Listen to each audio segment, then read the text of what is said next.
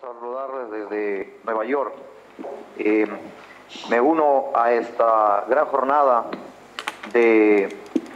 conversación y de unidad con los diferentes puntos donde se encuentran los migrantes alrededor del mundo. Quiero en este corto tiempo hacer el señalamiento puntual sobre el derecho y las libertades de los, de los ciudadanos alrededor del mundo. Primeramente quiero que la deficiente calidad del derecho que los países donde somos originarios todos los migrantes también es una de las causas por las que las personas alrededor del mundo estamos migrando.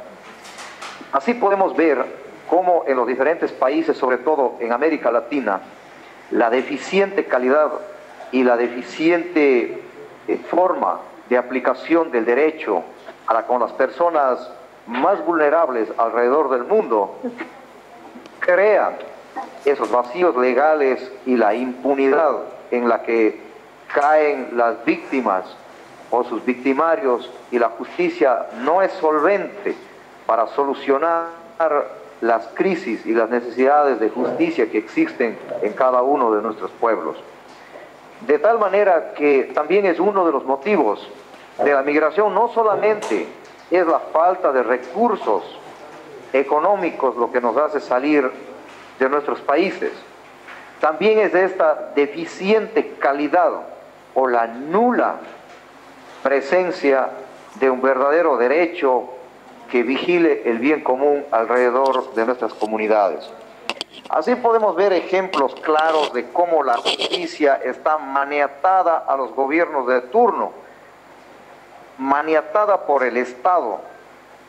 que en estos últimos tiempos ha decidido, como lo ha dicho el presidente Correa por enunciar uno de los casos, meterle la mano a la justicia de parte del Estado y maniatar de acuerdo a las necesidades y a las formas de justicia que cree el gobernante de turno. Entonces, podemos ver estos casos en México, donde desaparecen, donde matan públicamente a 43 estudiantes y la justicia no hace absolutamente nada más que un simple simulacro de investigación y estamos dejando nuevamente en la impunidad al crimen organizado y a sus tentáculos inmersos en la política. No, así también podemos ver eh, cómo en Venezuela, en Argentina, en Bolivia y en Ecuador, por decirlo de, de alguna manera, las puntas del iceberg de cómo los estados se han tomado la justicia y cómo los ciudadanos tienen que salir expulsados de sus territorios ancestrales, en el caso de los indígenas, y también los ciudadanos que hacen oposición política en todos estos países, por la falta de justicia, tienen que buscar otros países donde de alguna manera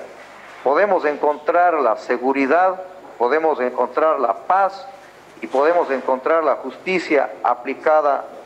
de acuerdo al ordenamiento jurídico nacional como también de las reglas internacionales. De tal, de tal forma que les invito a todos ustedes a que continuemos uh, activados, continuemos uh, escribiendo y, y no paremos,